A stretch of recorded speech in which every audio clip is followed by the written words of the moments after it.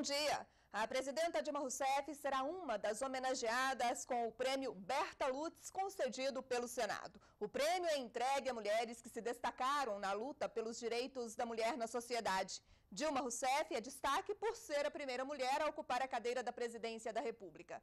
Vamos então ao vivo ao Congresso Nacional, onde está a repórter Carolina Monteiro.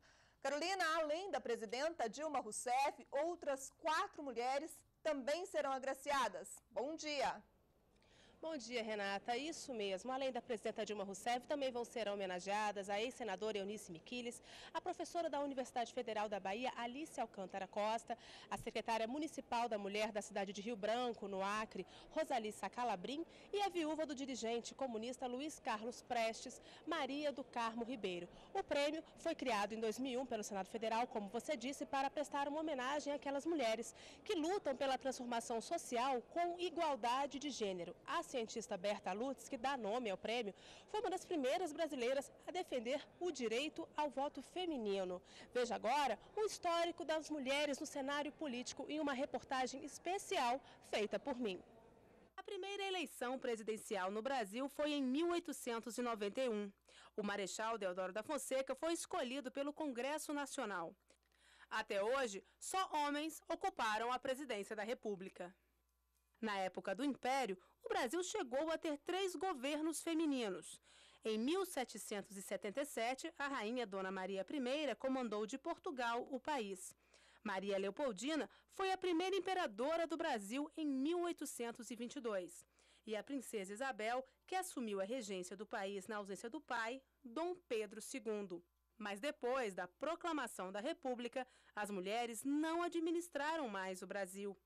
Em 1927, o Rio Grande do Norte foi o primeiro estado a permitir o voto feminino e também foi pioneiro ao eleger Alzira Soriano a prefeita de Lages em 1928. Mas ela não terminou o mandato porque os votos femininos foram anulados. As mulheres só conquistaram o direito ao voto em todo o país em 1932. Apenas as casadas, autorizadas pelos maridos. As viúvas e as solteiras com renda própria podiam votar. As restrições acabaram dois anos depois, mas o voto feminino só se tornou obrigatório em 1946. Para este cientista político, a chegada de Dilma Rousseff ao cargo máximo do país, quase 70 anos depois do direito do voto da mulher, mostra que há espaço a ser conquistado por elas. A chegada da Dilma Rousseff à presidência abre uma porta para que as mulheres percebam que a política é um espaço onde elas podem atuar, onde elas podem chegar a cargos de muita responsabilidade, cargos de chefia. Portas que já começaram a se abrir em toda a América Latina. Dilma Rousseff é a 11ª mulher a ocupar o cargo de presidenta entre os 33 países do bloco. Estela Peron foi a primeira, não só da América Latina, mas do mundo. Governou a Argentina de 1974 a 1976. Violeta Chamorro liderou a Nicarágua de 1990 a 1997. Erta Pascoal foi a presidenta interina do Haiti em 1991. Janete Jagan governou a Guiana de 1997 a 1999. Lídia Terrada assumiu interinamente a presidência da Bolívia em 1997 e Rosália Arteaga a do Equador no mesmo ano. Mireia Moscoso liderou o Panamá de 1999 a 2004 e Michele Bachelet foi presidente do Chile de 2006 até 2010. Uma mulher presidenta. Para além da minha pessoa, esse fato demonstra a crescente maturidade da nossa democracia. Esse fato rompe com os preconceitos, desafia os limites e enche de esperança um povo sofrido e também de orgulho as mulheres brasileiras.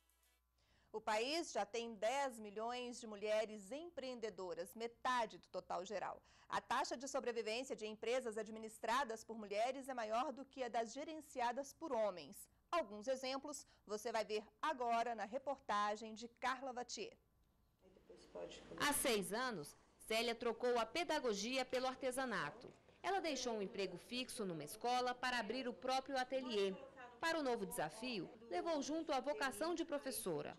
Hoje dá aulas, ensina o que sabe a outras pessoas. E ainda é consultora do Sebrae. Não arrependi, de jeito nenhum, muito pelo contrário, eu gostei muito, meu negócio está indo bem e eu sinto que eu estou podendo ajudar, assim como eu fiz essa tomada de decisão, eu ajudo muitas pessoas também, aquelas que não estão felizes no trabalho e aquelas que têm vontade de montar um negócio, elas se espelham e orientam, eu ajudo. Buscando a independência financeira, aos 18 anos, Jéssica resolveu trabalhar nas empresas da família. A experiência deu tão certo que hoje, aos 22, ela gerencia uma rede de lojas de cosméticos em dois shoppings de Brasília. Para ter uma qualificação melhor, Jéssica desistiu do curso de gestão ambiental e agora está terminando administração. Apesar da pouca idade, ela diz que vai muito bem à frente dos negócios.